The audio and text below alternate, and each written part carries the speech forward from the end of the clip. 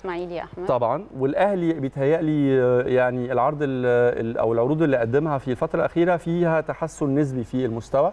قلنا من ماتش من ماتش الحدود الأخراني كسبنا بشكل كبير جدا وليد واجاييه حطي عليهم كمان كهربا اللي انتهى الإيقاف بتاعه فبيتهيألي السكواد بتاع الأهلي في مواجهة الإسماعيلي محتاجين كمان ندعم كهربا قوي يا أحمد قبل الماتش ده. زي ما كنا واخدين بالنا الفترة اللي فاتت كان في محاولات مستمرة لتشتيت كهربا أو أي كلام ممكن يتقال علشان اللاعب يطلع من تركيزه عشان معروف قد إيه كهربا لاعب مهم جدا. لاعب في الكرة المصرية ليه تقله ولاعب مهم جدا. وفي النادي الأهلي وهيفرق جدا بإذن الله رجوعه للنادي الأهلي. فالحقيقة محاولات برضو سخيفة من تشتيت اللاعبين أو خصوصا كهربا إن هو عارفين إنه قد إيه هو هيفرق لما يرجع الفريق. بس إحنا بندعمه جدا وبنقول له إنه جمهور الأهلي فعلا في ظهره. جمهور الأهلي أنا متابعة ال social media يا أحمد على طول بوستات عن كهربا وإن إحنا مستنيين عودتك وإن أنت أكيد هتشرفنا وإن أنت أكيد هتبقى فارق معانا.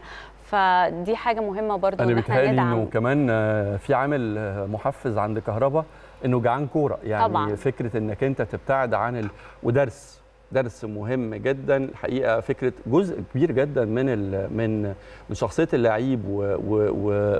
وقدرته على تطوير مستواه هي فكرة الثبات الانفعالي وقدرتك على السيطرة على أعصابك في أصعب الظروف اللي ممكن فريقك يكون محتاجك فيها وأعتقد إنه درس مستفاد نتمنى إنه إن شاء الله بإذن الله آه، يعني يضيف لكهربا خبرة في آه، فكرة السيطرة على الأعصاب والتعامل مع أي حالة من حالات الاستفزاز. آه، خليني أقول لك كمان إنه في لعيبة من الأهلي غابت سواء بسبب الإيقاف أو لأنه المدير الفني فايلر ريحهم لفترة آه، لما رجعوا تحسي إن هم واخدين نفس. يعني أنا من من الماتشات اللي بقالي كتير قوي ما شفتش علي معلول فت وفايق وعلي معلول اللي إحنا عارفينه المؤثر ال- دفاعا وهجوما زي ما شفته في الماتش الأخراني مع الحدود وكما لو أن ماتش الإيقاف أو مباراة اللي تم إيقافه فيها بسبب حصوله على ثلاث انذارات اديته نفس رجع بيه فريش مرة تانية. فلا لعيبة الأهلي سنة بسنة في كتير جدا بيبتدوا يرجعوا لمستواهم اللي إحنا عارفينه ونتمنى ده إن ده في النهاية بقى يترجم لصالح